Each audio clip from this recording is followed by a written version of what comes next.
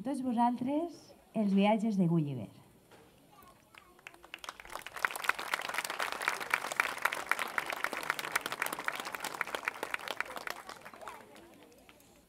Des de ben menut vaig sentir un gran desig de viatjar arreu del món. Per si la meva il·lusió es feia realitat algun dia, vaig estudiar nàutica, matemàtiques i medicina. Això em va permetre treballar de metge en diversos vaixells i fer molts viatges a terres llunyanes. Després de casar-me, vaig posar una consulta a Londres. Volia fer una vida més tranquil·la amb la meva dona, però no vam tindre sort. Tenia tan pocs pacients que finalment vaig prendre la decisió de tornar a fer-me a la mar. El capità Pritchard em contractà com a metge de l'Antílop, un vaixell que partia cap al mar del sud. I així començà la meva primera aventura.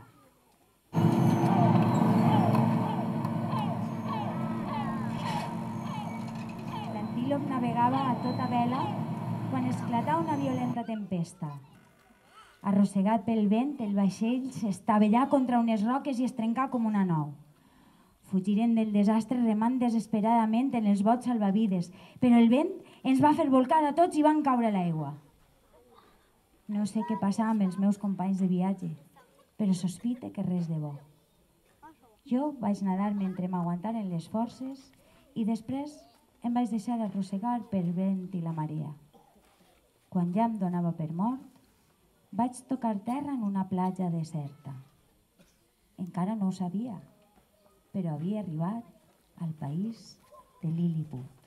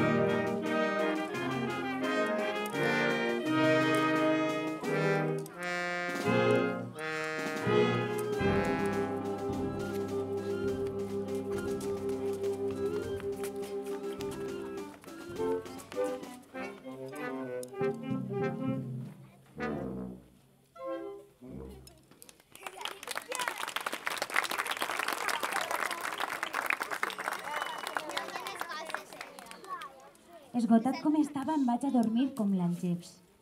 Hores després, en despertar-me, vaig tirar d'alçar-me, però impossible. Un fum de cordes em lligaven a terra pels braços, les cames i els cabells. Tombat com estava i enlluernat pel sol, no podia veure res del que passava al meu voltant. Al cap d'una estona, vaig notar que una cosa viva es movia damunt de la meua cama esquerra i em pujava cosa amunt fins a la barbeta. Aleshores ho vaig veure. Era una criatura humana de mig pam d'altura. Ah! Em feu mal! Els liliputians van començar a disparar-me fletxes. Deixeu-me anar! Les fletxes em feien molt de mal, així que vaig decidir que m'esperaria la nit per fugir. Els liliputians treballen al voltant meu i de sobte un d'ells va mollar un discurs que no vaig entendre.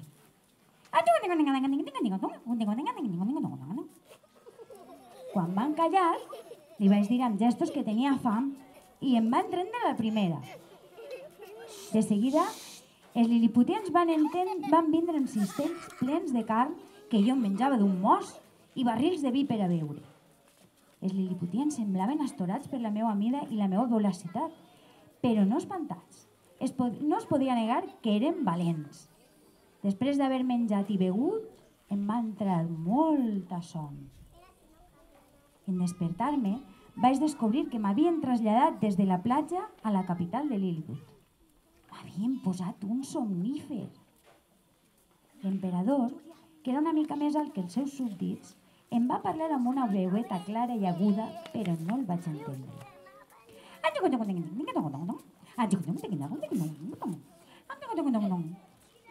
I don't understand you. Je ne vous comprends pas. Non capisco cosa dici. Que no t'entenc. Però els liliputians em van fer la vida molt agradable. Em portaven menjar i al cap d'un temps l'emperador em va assignar 600 liliputians al meu servei i 300 sastres per a fer-me la roba del país. Finalment, em va alliberar i em va fer el seu conseller. Vaig aprendre l'idioma de Lilliput i fins i tot em va ensenyar l'himne de Lilliput.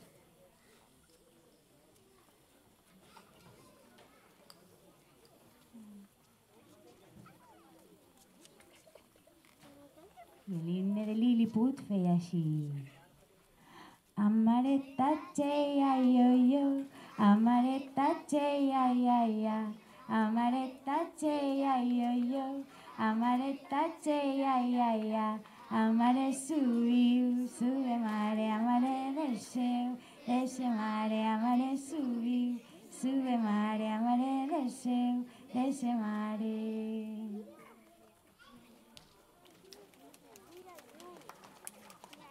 Vaig passar una bona estança allà, però l'emperador va començar a posar-me condicions per a viure a Lilliput.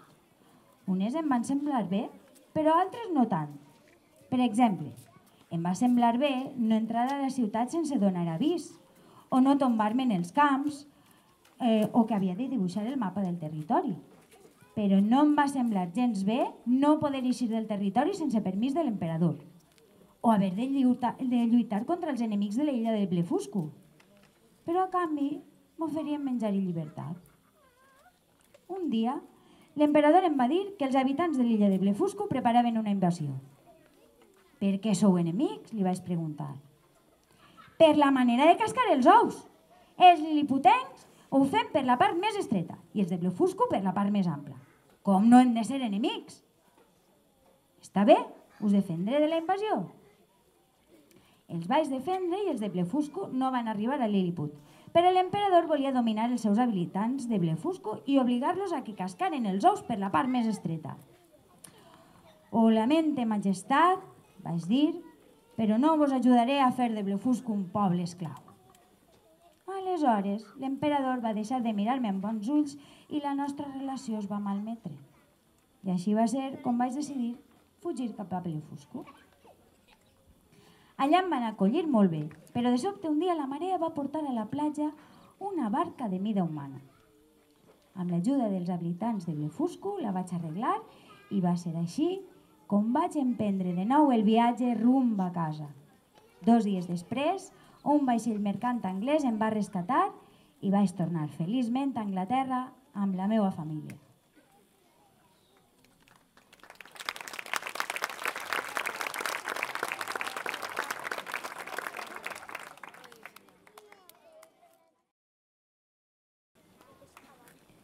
Un parell de mesos després de tornar a casa, el meu esperit inquiet m'impulsà a tornar a la mar. Ara seria metge del vaixell Aventura. En el nostre camí cap a la Índia, vam vorejar la costa africana fins al cap de Bona Esperança, on passarem l'hivern. Vam emprendre el camí de nou i vam navegar molts dies sense problemes. Però de sobte un dia començà a bufar un vent feroge que ens va arrossegar al seu capritx. Quan ja no sabíem en quina part del món es trobàvem, el grumet cridà «Terra a la vista!»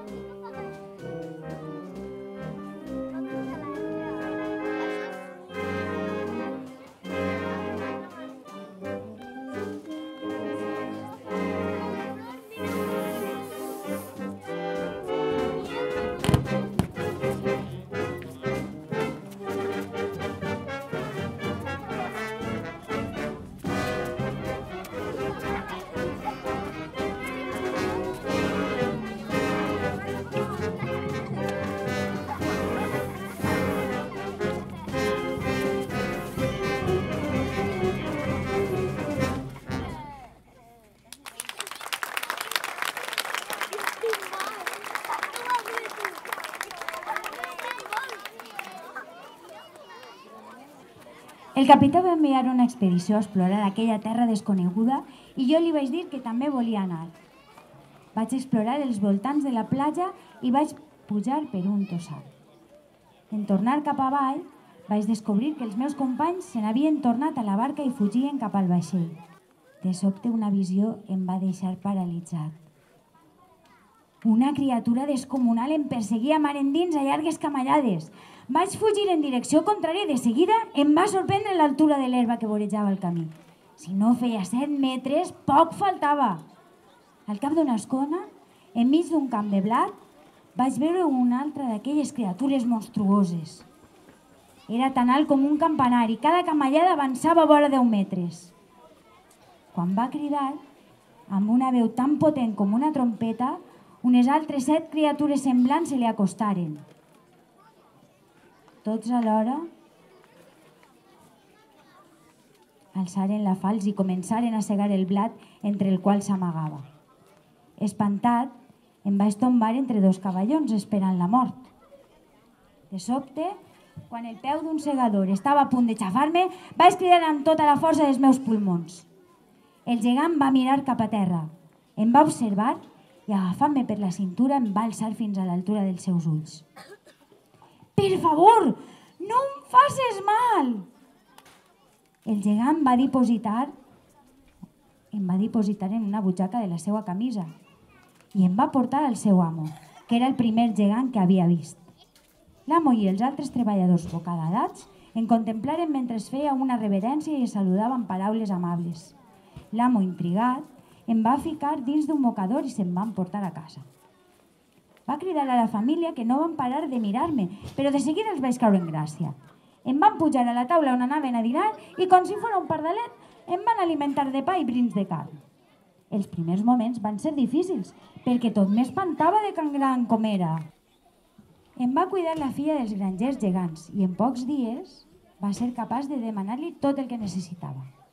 La notícia de la meva existència es va estendre per tot el regne i la curiositat va ser tanta que el meu amo va tindre la terrible idea d'exhibir-me com un espectacle pels pobles veïns aprofitant els dies de mercat. Jo no vull que se t'emporte, ploriquejava la filla dels grangers. Però no em fan cas. Tranquil·la, tot anirà bé, li vaig dir.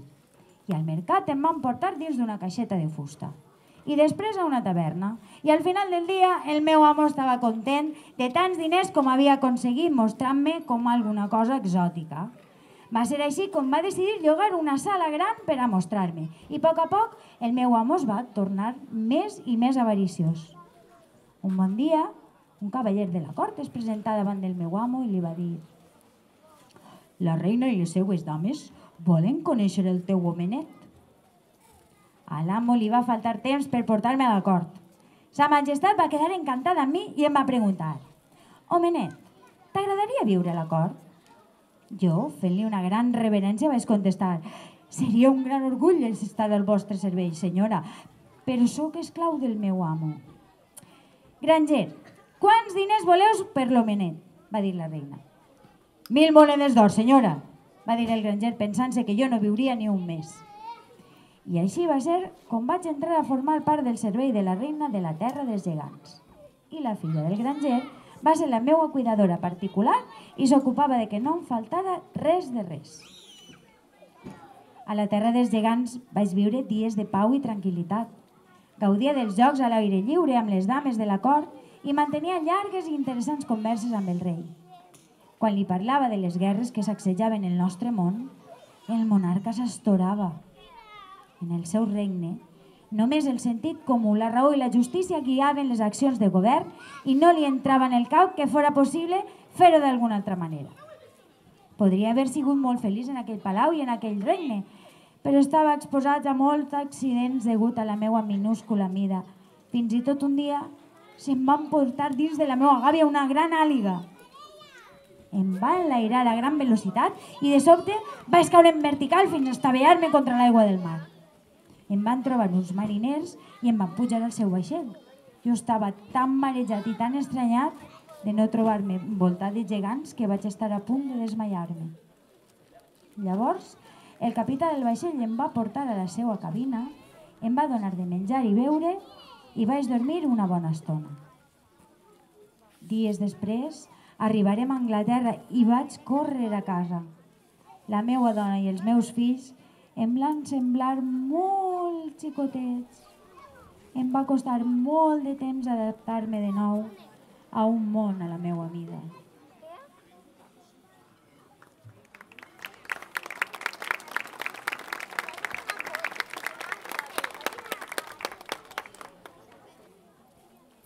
No feia ni deu dies que estava a casa quan el capità William Robinson es va presentar a casa per demanar-me si voldria ser metge al seu vaixell. Volia fer un viatge a les illes de les Índies Orientals. Vam emprendre el viatge el 5 d'agost de 1706 i encara no feia tres dies que ens havíem fet a la mar quan es va produir una gran tempesta que ens va arrastrar cinc dies al nord-est i després a l'est.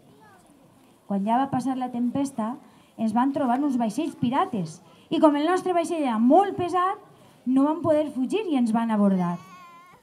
Em van tirar a l'aigua amb una petita canoa confiant que aviat em menjarien els taurons. Jo havia fet càlculs una hora abans de l'abordatge per saber on podríem estar i amb uns prismàtics vaig observar que hi havia diverses illes al sud-est. Així és que em vaig posar a remar fins que vaig arribar a la més propera de les illes. L'illa estava plena de roques, però vaig trobar molts ous d'aus. Vaig fer un foc i els vaig torrar i me'ls vaig menjar. Després de molts dies explorant les diferents illes, vaig arribar a una illa petita plena de plantes aromàtiques. Volia descansar una estona perquè remar tant m'havia deixat exhaust, així que em vaig allargar a la platja. El sol cremava tant que vaig desviar la vista dels seus rajos. De sobte, em va aparèixer sentir que desapareixia. Vaig obrir els ulls i el que vaig veure em va deixar bocabadat. Semblava un núvol, però no ho era. Vaig observar, observar amb més deteniment i era un tros de terra que flotava. L'illa anava apropant-se, així que vaig agitar el braç per veure, per veure si algú em veia i em podia ajudar. Tot seguit vaig treure el meu monocle de la butxaca per observar amb més deteniment i vaig veure una multitud de personetes que pujaven i baixaven per les vores d'aquella illa flotant. Eh! Aquí baix! Vaig fer agitant el barret i un mocador que portava. Els habitants de l'illa flotant em van fer senyes per a que m'apropara a la vora de la platja. L'illa es va col·locar a una altura convenient i els seus habitants van soltar una cadena amb un seient i amb una politja i em van pujar cap amunt. A l'arribar dalt em va rodejar una gentada, tots amb expressions de sorpresa a les seues cares. Tenien el cap ben inclinat a la dreta, ben inclinat a l'esquerra. Amb un ull miraven cap avall i amb l'altre cap al cel. La seua roba la seva roba estava adornada amb sols, llunes, estels i instruments musicals.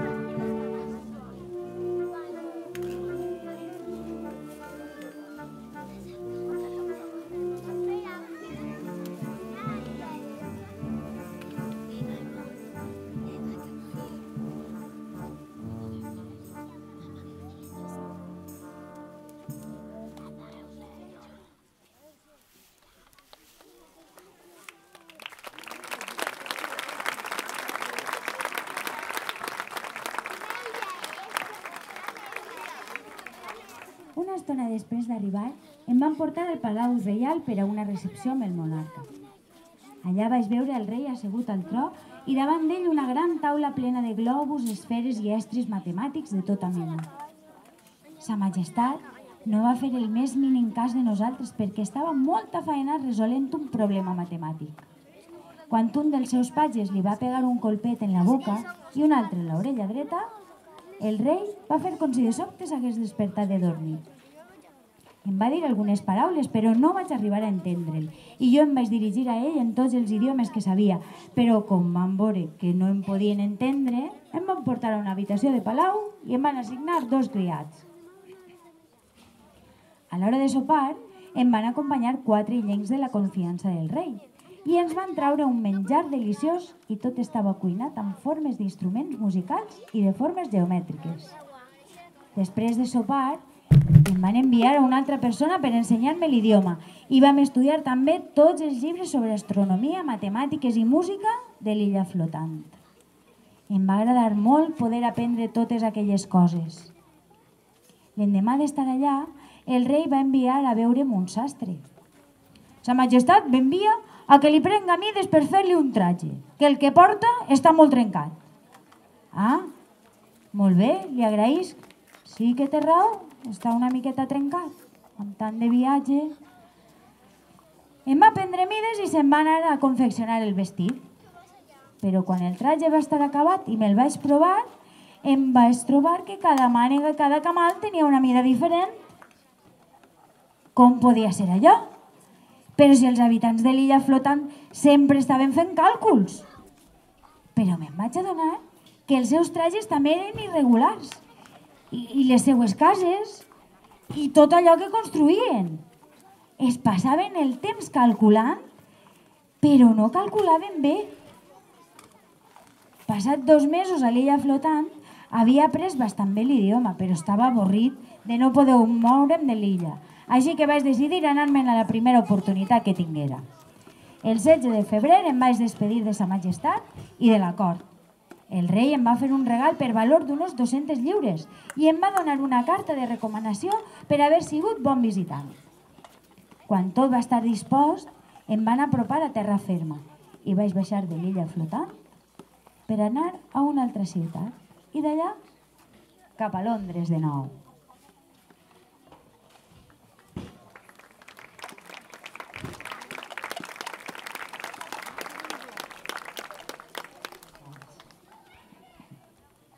Després d'uns mesos de vida tranquil·la, les ganes de viatjar tornarem amb més força que mai. Em van fer una oferta per a tornar de nou als mars del sud i prompte vaig fer un desagradable descobriment. Bona part de la meva tripulació eren antics pirates. En pocs dies, la convivència al vaixell es va fer insuportable. Els pirates m'obligaren a desembarcar. Fora! Ha, ha, ha, ha, ha! I em van abandonar en una illa deserta sense aliments i sense res. Així que em vaig posar a explorar el territori per veure si em trobava algú. Bueno, em posaré a explorar, a veure si hi ha sort. Sí, hi ha molts camps d'ordi i molta herba. Que curiós. I empremtes de cavall, per tot arreu. Aleshores vaig veure uns animals desconeguts en un camp i els vaig observar des de la distància. Eren estranys i deformes. Tenien molta pelussa al cap i al pit i una barba de cabra i una llarga cresta de pèl que els corria llom avall. Em van fer una impressió molt desagradable. Tornant al camí, vaig notar que un d'aquells animals venia en línia recta cap a mi. Es va quedar mirant-me sorprès i alçar una pota. No sé en quina intenció, però li vaig pegar un colp amb el meu dit sense clavar-li. La bèstia es va fer enrere i va llançar un terrible rugit. I en un segon ja tenia més de 40 companys seus que li feien costat. Quan ja em donava per perdut, els meus atacants van desaparèixer quan van veure arribar un cavall que s'acostava plàcidament. Vaig allargar la mà per acariciar-lo però ell em va parar la mà amb una pota i es va posar a renillar com si m'estiguera parlant. En aquell moment es va apropar un altre cavall. I, i, i, i. Mira, però si semblen humans. Jo els vaig saludar amb cortesia. Vaig pensar que eren mans o bruixots que s'havien transformat en cabells per la manera de comportar-se. Ells em van contestar a la salutació amb un gran discurs. Yahoo! Yahoo! Yahoo! Yahoo! Els cavalls, molt meravellats i sorpresos per la meva capacitat, em van ensenyar de seguida una altra per altra. Holmes! vaig dir finalment. Em van indicar que caminara davant d'ells i això vaig fer. Vam arribar a la casa dels cavalls i jo pensava que allà apareixeria un humà, però no hi havia humans a la vista. Només egües i cavalls que parlaven de les seues faenes domèstiques em van portar al corral de la casa on tenien lligats tres monstres d'aquells que havia vist quan havia arribat a la terra dels cavalls. Em van posar al seu costat i repetiren Yahoo! Yahoo! Aleshores els vaig entendre. És que jo m'assemblava molt a aquelles criatures que, pel que semblava, es deien Yahoos. Les úniques diferències, a banda de la roba i de les sabates que jo portava, eren la longitud de les ungles i la quantitat de pèls. Des del primer moment els cavalls es van esforçar per ensenyar-me el seu idioma i en cosa de tres mesos ja podien tindre converses d'una certa profunditat. El cavall que m'havia salvat dels yahoos, a qui jo considerava el meu amo, no parava de fer-me preguntes. I com vas arribar al nostre país? I jo li deia, mm, vaig arribar amb un vaixell. Estàs equivocat, Yahoo. Dius una cosa que no és. Així vaig descobrir que en el seu idioma no hi havia una paraula per a dir mentida, perquè feien bandera de la sinceritat i de la veritat. I per més que parlàvem, ni els meus amos ni els altres cavalls podien entendre que existira un món com el meu un món governat per Yahoos. Un món on els intel·ligents i sensibles Hoynes eren tractats com a bèsties privades de raó i de drets. Jo només els vaig poder dir. Quan torna al meu món i conte el que he vist així, ells també creuran que dic la cosa que no és. Els vaig explicar que els nostres cavalls són domesticats des de ben menuts i es van indignar molt. Em va costar molts dies contar-los la meva història, com era la meva família, la meva vida a Anglaterra i quines aventures havia viscut pel món. Tot i això, hi havia coses que els Holmes no estaven capacitats per a comprendre. Sobretot, la qüestió de les guerres entre nosaltres, que sempre esclaten per motius de vegades ridículs o per averícia d'afany i de poder. Sóc com els yahoos, ells es barallen a mort per unes pedres de colors que en realitat no serveixen per a res. I els Holmes no feu mai la guerra? Vaig dir jo. No. Nosaltres pensem que tots els animals sobre la terra tenen dret a compartir els productes que la terra dona, va dir el cavall. I vaig comprovar que posaven en pràctica tot allò que pensaven, perquè ho compartien tot i ningú desitjava tindre més que els altres. Vaig passar tres anys amb els cavalls i em van encomanar la seva manera de veure el món. El seu amor per la veritat em feia odiar la mentida i la falsedat. La seva incapacitat per fer el mal em feia desitjar ser bo. La seva cordialitat i benevolència em feien sentir apreciat i estimat. Tant em va agradar la seva forma de ser que vaig decidir no tornar mai al món dels humans pensava en la meva família i en els meus amics, començava a veure'ls com yahoos, encara que més civilitzats i dotats de l'ús de la paraula, clar. Però de sobte, un dia el meu amo em va donar una notícia molt trista. L'Assemblea General dels Hoymes s'ha reunit i m'han demanat que el faça fora de casa i que també amb els yahoos. No, per favor, li vaig dir. I el cavall em va dir, t'entenc, ha de ser horrible viure amb els yahoos. Per això és millor que tornes a ta casa per la mar. Et puc donar dos mesos de temps, però si no, després t'hauré d'enviar amb els yahoos. Les decisions de l'Assemblea General s'han de respectar. Així que, ajudat per un poltre de confiança, van fer una canoa i quan la vaig tindre a punt em vaig acomiadar del meu amo, de la seva família i d'alguns altres joins. I vam emprendre de nou el viatge cap a casa enyorant-los profundament.